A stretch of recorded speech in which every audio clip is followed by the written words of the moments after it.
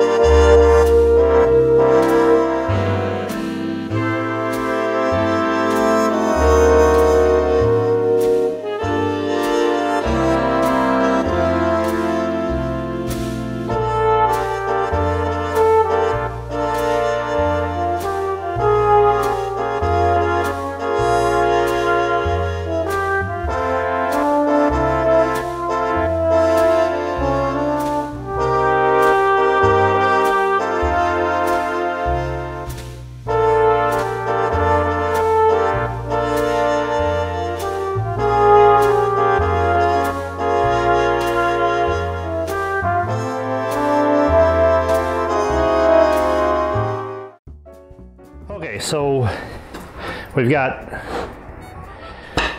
14 pieces of Purple Heart that started out with a stock thickness of 3 quarter inch and we've ripped it into approximately 7 eighths 15 sixteenths wide. Allows for some planer removal.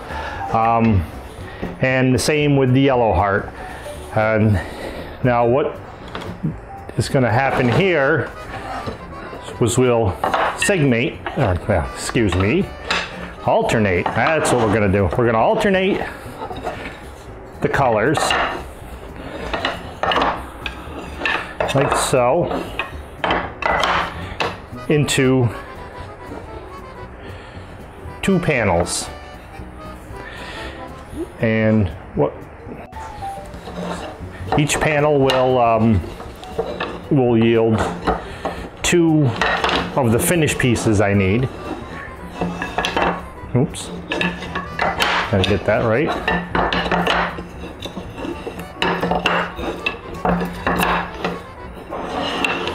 Like so. There, like so.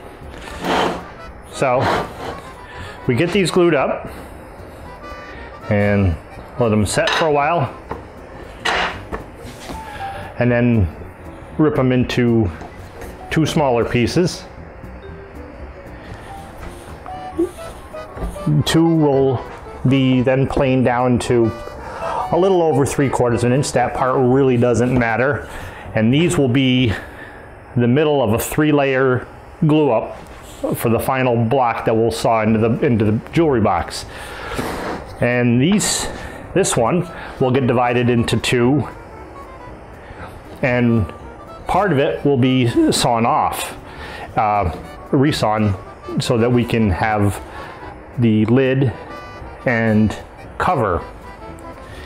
And then that'll go on either side of the center block. Um, we'll see how that works out. So stick around for the next step. Okay, we had a small miscalculation. I needed three sets of 14. Lost myself in the math. But anyways, so took a break and cut the rest of the pieces.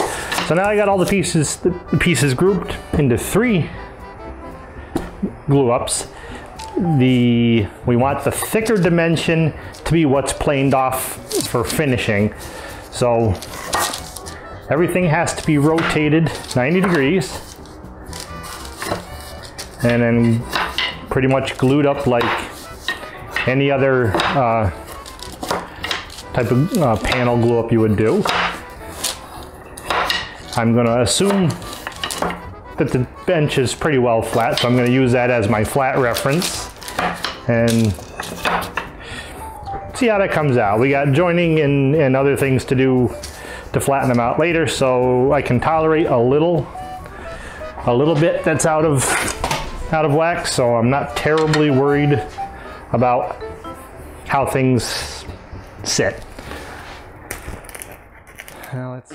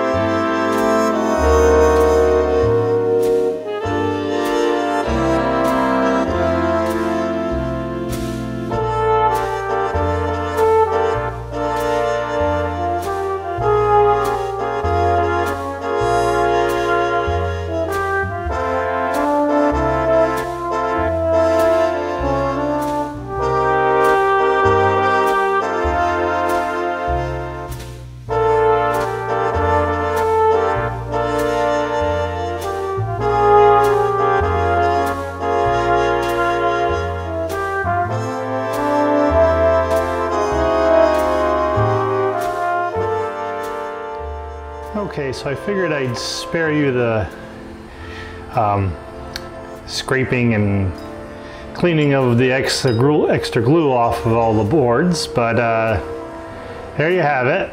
Three pieces, all approximately 11 inches wide and about 22 inches long. Uh, 14 layers, half yellow heart, half purple heart.